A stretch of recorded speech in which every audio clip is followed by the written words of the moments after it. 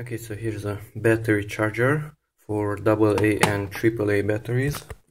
For these, for example, these are nickel metal hydride and it's AAA size AAA. Okay, and this has this little door.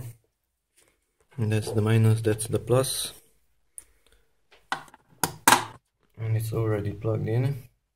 That's charging that's the power cable. This one.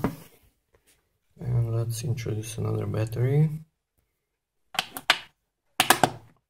Now we're charging two batteries.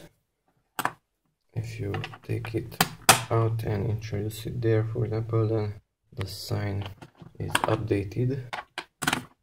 Now it's not charging in the third one but in the fourth one. Okay and here are some specifications.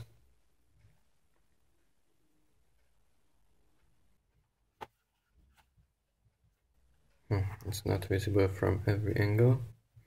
It's visible from here. Uh, from the front it's not perfect.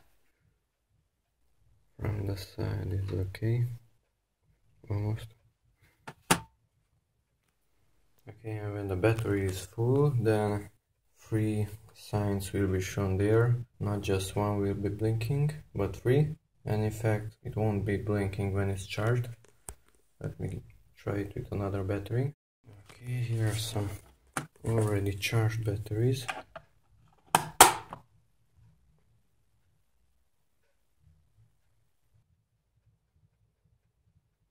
Or maybe not. Yes it is. Okay so the second one is charged let's try this one.